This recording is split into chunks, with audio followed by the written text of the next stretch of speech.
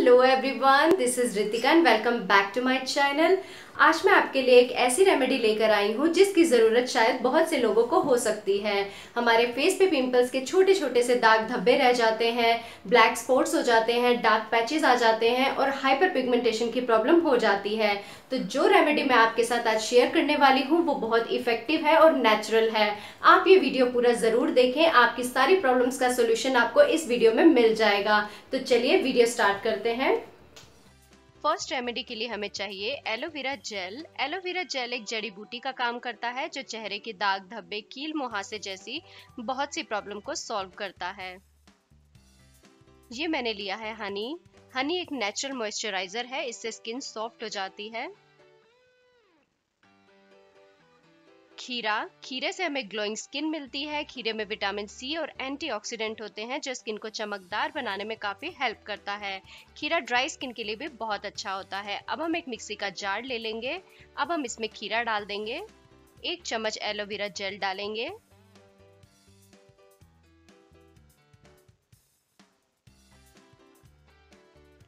और एक चम्मच शहद डालेंगे। इसका हमने एक अच्छा सा पेस्ट बना लेना है।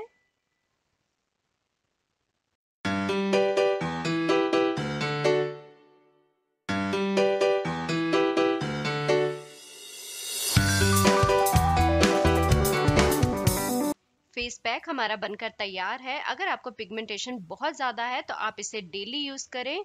आपको इसे 15 दिन तक रेगुलर यूज़ करना है। 5 मिनट तक अपने फेस पर अच्छे से मसाज करना है और 15 मिनट तक इसे ऐसे ही रहने देना है और फिर पानी से धो लेना है। इससे आपकी पिगमेंटेशन काफ़ी हद तक कम हो जाएगी।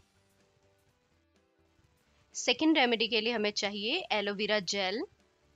और रोज़ वाटर रोज़ वाटर के बारे में तो हम सबको पता ही है कि रोज़ वाटर स्किन को हाइड्रेट रखता है स्किन को हेल्दी बनाता है। और इसके साथ हमें चाहिए आलू। आलू तो यार बहुत अच्छी चीज़ है, जो हमारे फेस पर टैनिंग हो जाती है, ये इसे दूर करता है, रंग को गोरा करता है डार्क सर्कल्स को ख़त्म कर देता है, ये एक अच्छा एंटी एजिंग का भी काम करता है। अब हम आलू को छील लेंगे और इसका रस निकाल लेंगे।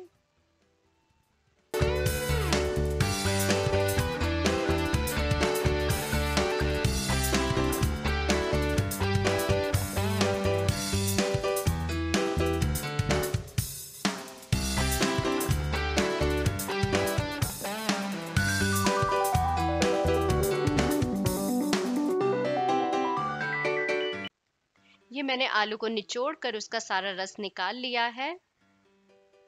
अब हम इसमें एक चम्मच रोज वाटर मिक्स करेंगे।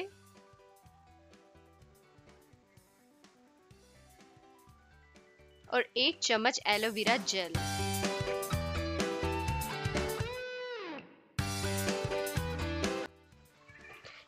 मैं इसकी आइस क्यूब्स बनाने वाली हूँ। ये आइस क्यूब्स हेल्प करेंगे फेस पर डार्क स्पॉट्स कम करने में। जितने भी ज़िद्दी दाग हैं फेस पर, ये उसे कम करने में हेल्प करेंगे। सेवन डेज़ में ही आपको फ़र्क दिखने लगेगा।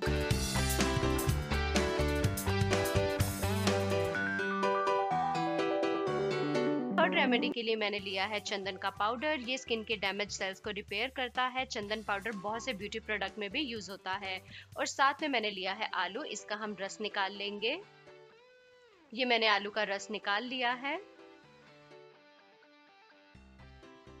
अब हमें इसका पेस्ट बनाना है। चंदन के पाउडर में मैं आलू का रस मिक्स कर दूँगी। हमें जो भी पेस्ट बनाने के लिए पानी की ज़रूरत होगी तो हम उसमें आलू का रस ही मिक्स करेंगे। पानी हमें मिक्स नहीं करना है। पूरा पेस्ट हमें आलू के रस से ही बनाना है। बहुत अच्छे से हमें इसे मिक्स कर देना है। अब इसमें मैं एक या दो पिंच हल्दी भी मिक्स कर रही हूँ।